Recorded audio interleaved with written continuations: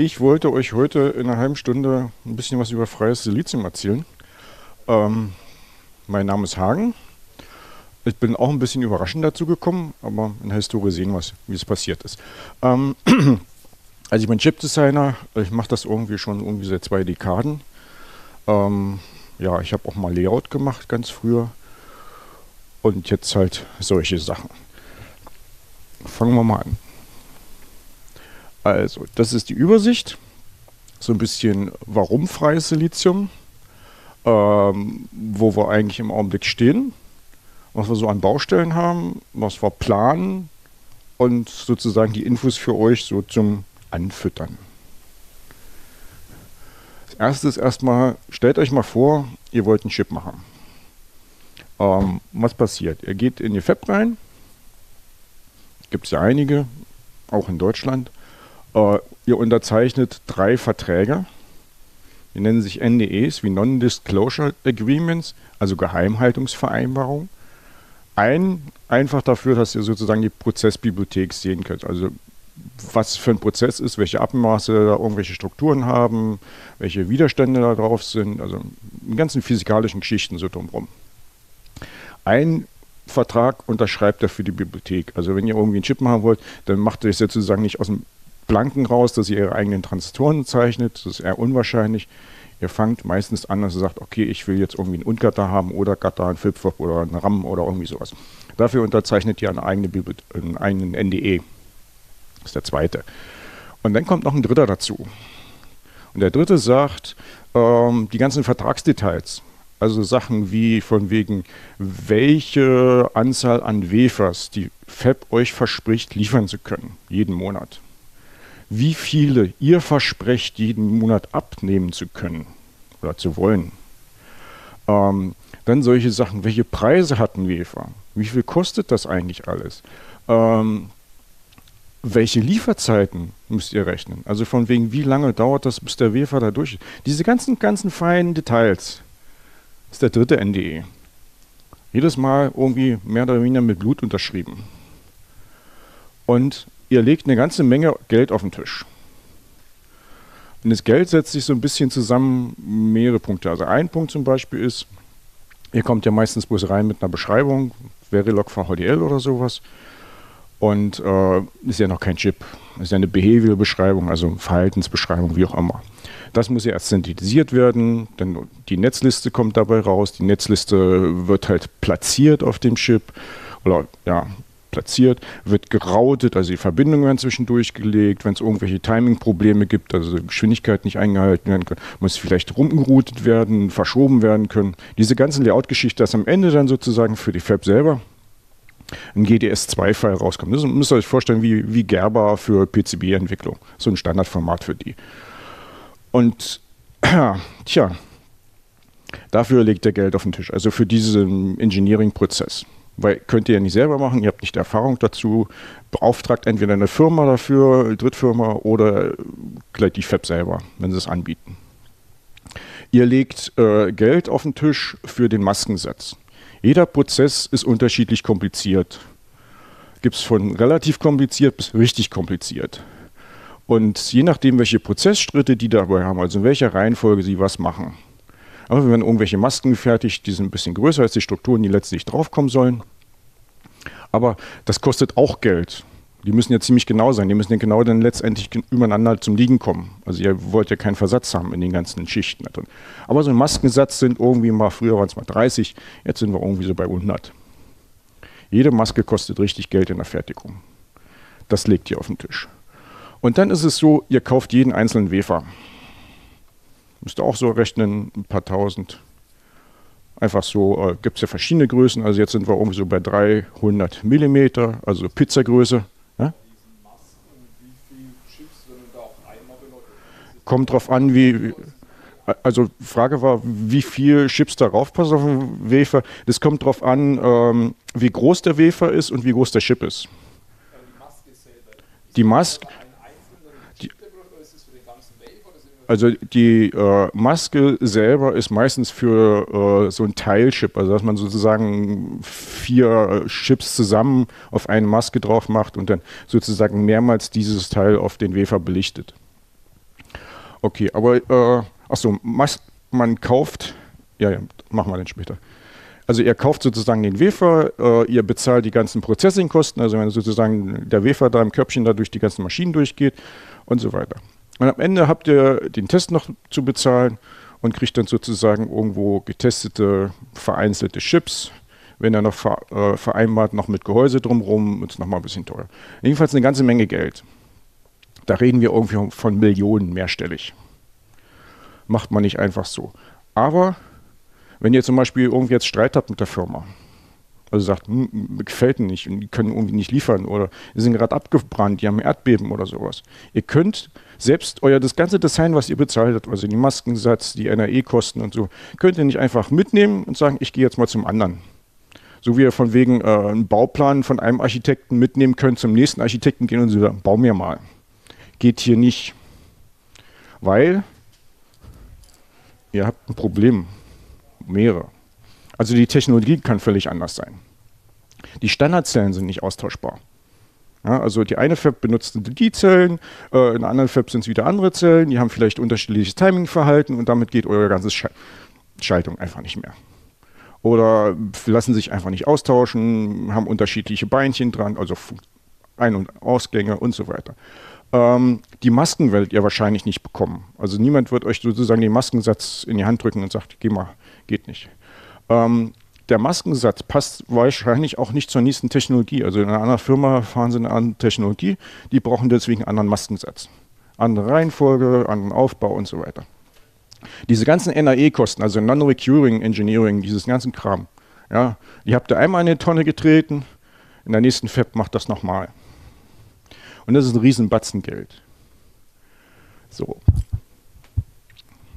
Das ist jetzt so vielleicht irgendwie eine Sache, selber machen. Und dafür braucht man mal einen Prozess, wo sozusagen die ganzen Informationen frei sind, wo man sozusagen ohne diese ganzen NDEs dafür auskommt. Okay, was bisher passiert ist.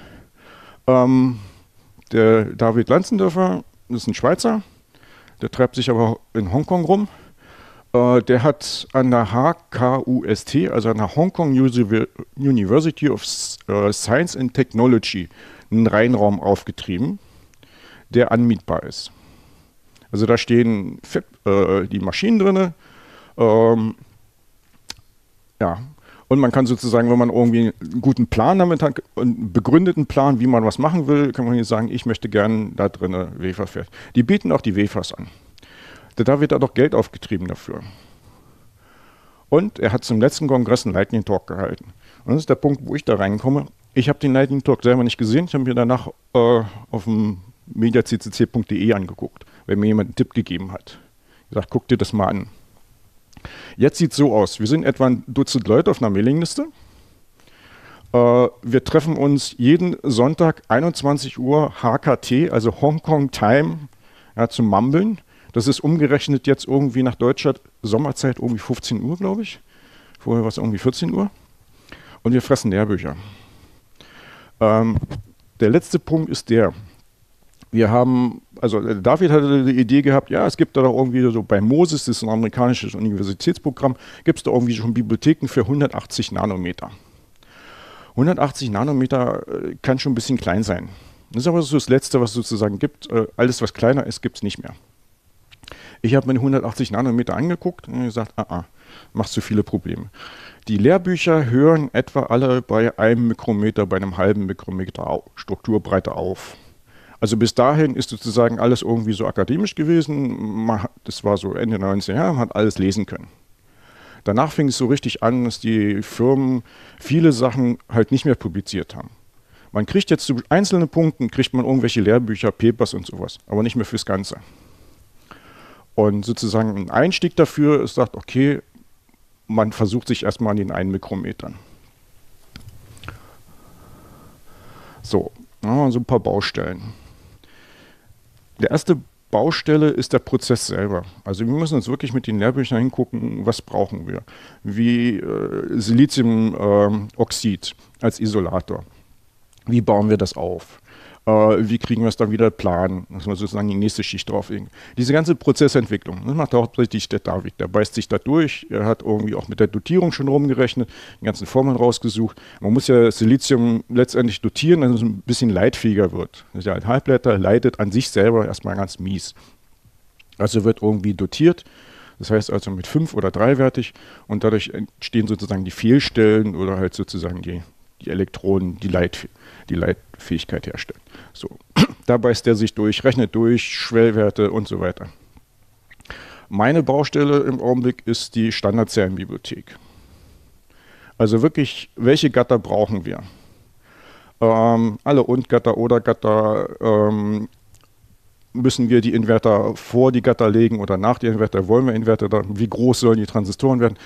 Ähm, welche Auswahl an Zellen brauchen wir eigentlich? Wie kriegen wir es vollständig hin? Das ist ein Riesending. Also ich habe irgendwie so um die 45, 50 Zellen habe ich irgendwie schon so äh, in der Dokumentation drin. Also da läuft ja alles bei uns über GitHub.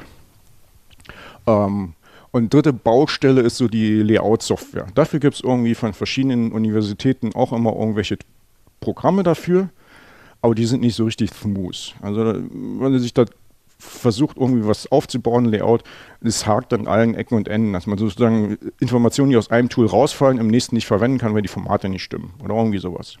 Also da gab es eine ganze Menge zu tun. Also da brauchen wir sozusagen noch Hilfe, haben wir keinen im Augenblick, der sich wirklich da irgendwie so richtig drum kümmert. Okay, nächste Schritte. Also der David hat sich ja mit der Technologie irgendwie schon durchgesetzt. Wir haben irgendwie sozusagen jetzt schon eine klare Vor Vorstellung, äh, wie wir in welcher Reihenfolge welche Masken ansetzen müssen, damit irgendwas passiert und letztlich unsere Transistoren auf dem Silizium rauskommen. Allerdings ein Transistor malen, okay, nett. Aber wir haben ja noch keine Standardzellen. Ähm, aber wir müssen wissen, wie gut ist sozusagen ähm, physikalisch das, was dabei rauskommt.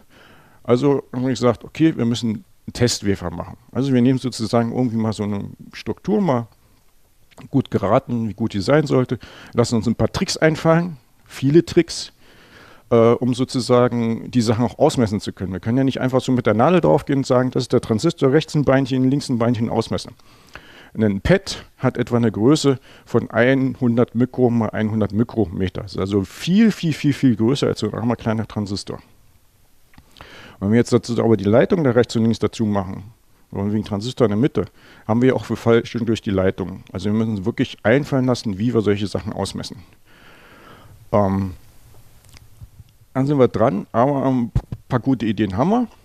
Und jedenfalls, wir wollen damit einen äh, Wafer produzieren in diesem Reinraum, wo diese Teststrukturen draußen sind. Wo wir dann sozusagen, okay, nachträglich sagen können, okay, unser Transistor hat meinetwegen die und die Verstärkung, wir haben im Poly äh, den und den Widerstand, je Fläche und so weiter. Einfach so diese physikalischen Sachen rausmessen.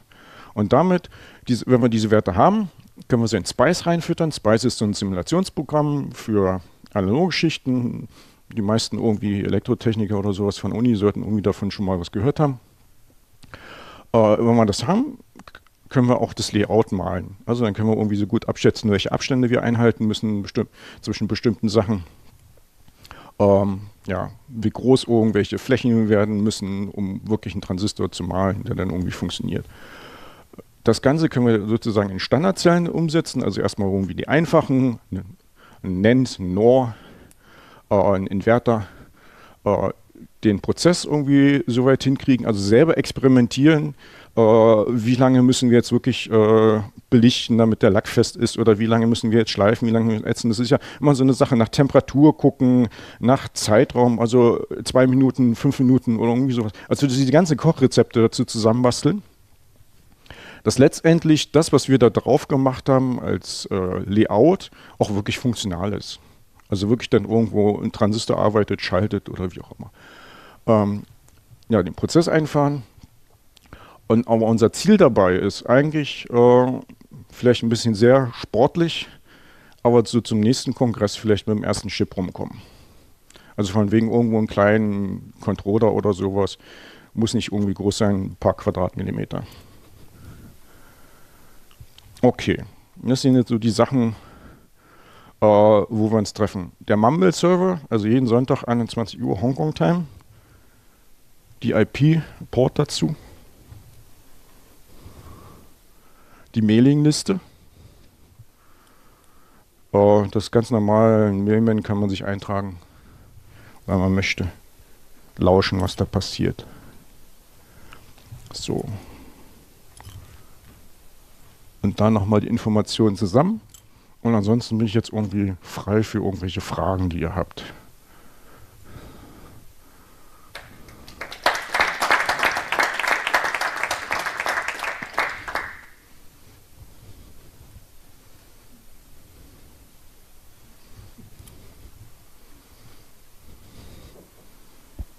Seid ihr jetzt alle so geplättet? Keine Fragen.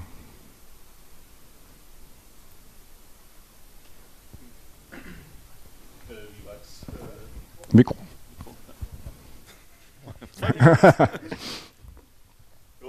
Uhu. Ja, ähm, wie weit seid ihr denn schon mit den äh, Entwicklungen? Habt ihr irgendwas schon an Hardware da oder ist es jetzt Also der Stand ist wirklich im Augenblick der. Äh, der David hat sich durch diese Prozessdefinition da durchgebissen. Äh, wir haben im GitHub da darunter die Dokumente, kannst du dir angucken, kannst du gegenlesen und kannst sagen, ist Bullshit oder es passt. Ähm, ja, und jetzt im Augenblick ist es wirklich so, ich muss mal wieder ein bisschen äh, zeitfrei buddeln, um an den Standardzellen weiterzumachen und ähm, auch den Testwafer, also die Strukturen dafür einfallen zu lassen. Also wie man sowas ausmessen kann, die Parameter ohne sozusagen mit Verfälschung zu arbeiten.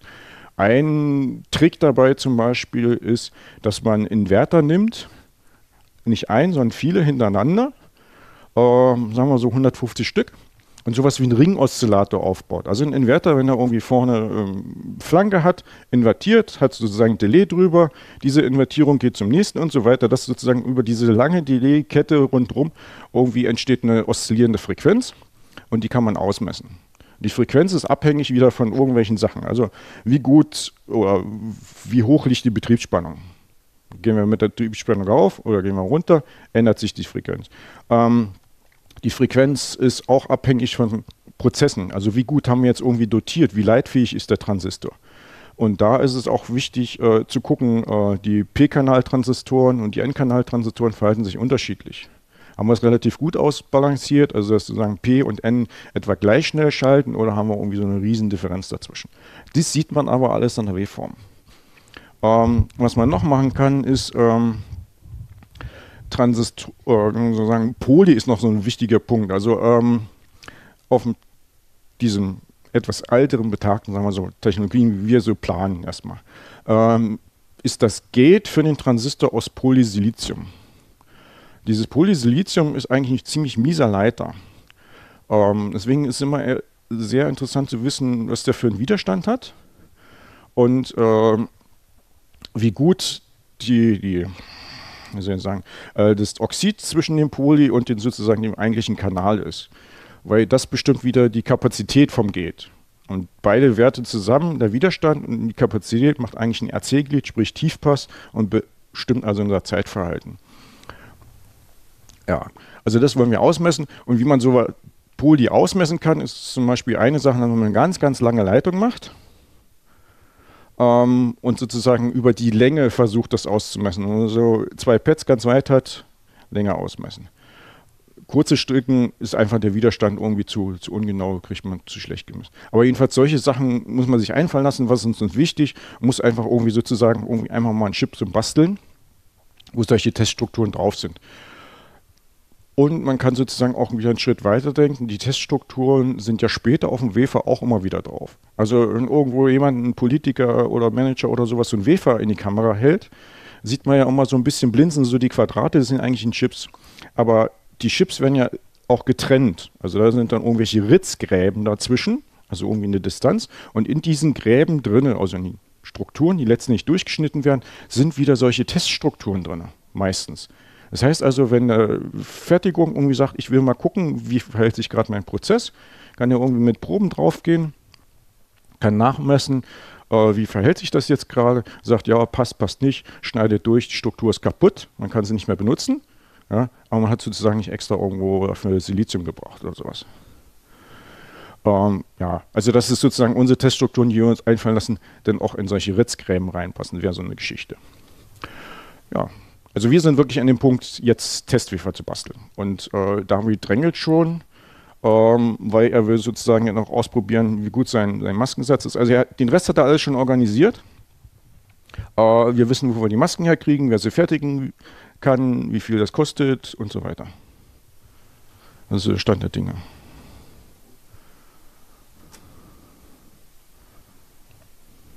Wie lang ist dann die Durchlaufzeit, also ab dem Zeitpunkt, wo ihr die Teststrukturen habt und das quasi in die Factory transferiert, wie lange braucht dieser Prozess dann, bis die ersten Wafer rausputzeln?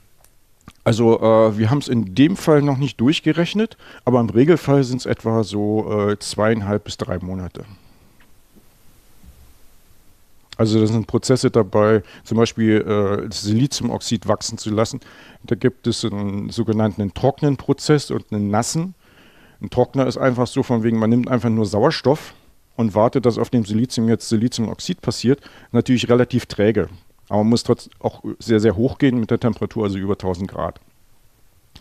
Äh, und es gibt sozusagen einen nassen Prozess. Ähm, man sagt, ja, der wäre ein bisschen schneller. Allerdings hat er wieder einen Haken. Da entsteht freies, äh, freier Wasserstoff. Und Wasserstoff mit Sauerstoff zusammen will man nicht haben, das nennt sich Knallgas.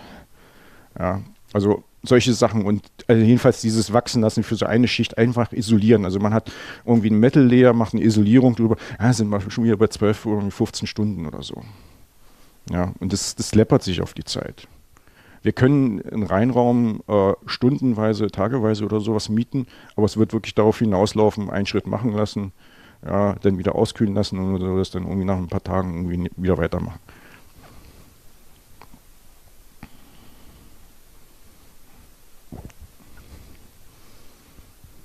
Also es klingt ja jetzt so, als wäre das was, was für die äh, Fabless Hersteller eben sehr wichtig ist, weil die ja dann die, die Möglichkeit haben, äh, zu einem anderen Hersteller zu gehen oder einfach so das Design zu übernehmen. Mhm. Und wie viele gibt es denn da, die jetzt Interesse angemeldet haben, die gesagt haben, ja, wir werden euch unterstützen oder irgendwas? Okay, äh, du kannst ja an der Stelle mal angucken, den Lightning Talk, den gibt es irgendwie noch bei, vom, vom David. Ähm, da hat er ganz viele Logos dabei, wen er irgendwie schon angetriggert hat. Deswegen, ja, es ist wirklich für Fabless ist es interessant. Ist aber irgendwie auch für Hacker interessant, wenn sie sagen, okay, ich habe hier einen Prozess und jetzt mach mal. Ja. Ähm, Chinesen sind an der Stelle vielleicht ein bisschen kompromissbereiter. Eine etwas größere Fab, sagen wir mal jetzt mal USMC oder was auch immer, die haben eher so äh, Geschichte, dass sie ihre Wafer-Produktion eingefahren haben. Also die wollen keine Störung drin haben. Wenn jetzt mit einem anderen Prozess, da kommt immer mal zwischendurch was anderes, dann stimmen irgendwelche Parameter nicht mehr und haben die danach wieder Probleme. Deswegen wollen die eher sowas nicht machen. Aber für solche Reihenräume, die irgendwo hinstehen, vielleicht mit ein bisschen betagteren äh, Equipment oder so, ist völlig in Ordnung. Und wir wollen ja irgendwie nicht, nicht super duper, erstmal irgendwie relativ bescheiden. Und Darwin hat irgendwie ausgerechnet, wir kommen etwa auf ein halbes Mühe, wenn wir mit der Technologie und die Maschinen, die das schaffen, eigentlich bequem hinkriegen. Danke. Und äh, was vielleicht auch noch interessant ist, wenn du sagst Fabless, wenn jemand Analogtechnik machen möchte, es kann für, für Analog Analogis auch sehr, sehr interessant sein. Ähm, weil Analogleute, die brauchen sehr, sehr genaue physikalische Werte. Also Transistorverstärkung, äh, Widerstände und so ein Kram, weil die halt wirklich ihre Analogschaltung damit aufbauen. Wenn die aber sich jedes Mal an einen bestimmten Prozess koppeln müssen, dann können die nur sagen, das, was ich gebastelt habe, funktioniert genau mit dem Prozess. Und dann ist Schluss. Genauso auch MEMS-Technologie oder irgend sowas ist da sicher auch wichtig. Also so mm, Mag sein, ja. Okay.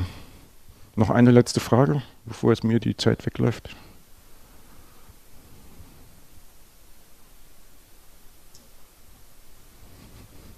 Also äh, Chips in, der, in normalen Hackerspace, FabLab herzustellen, ist wahrscheinlich vollkommen utopisch. Also ich habe ein paar einfache Transistoren schon mal in mhm. irgendwelchen Videos gesehen, aber so richtig Chips mit herstellen wahrscheinlich dann.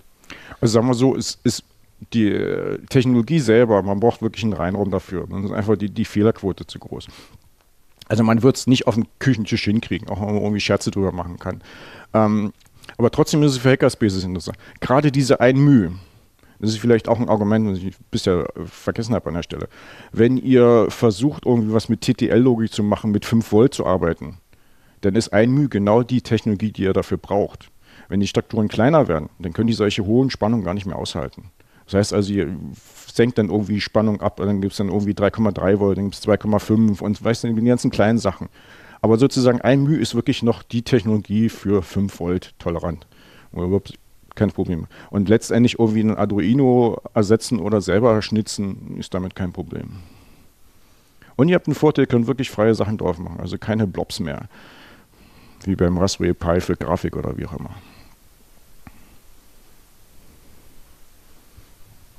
Okay, dann danke fürs Zuhören.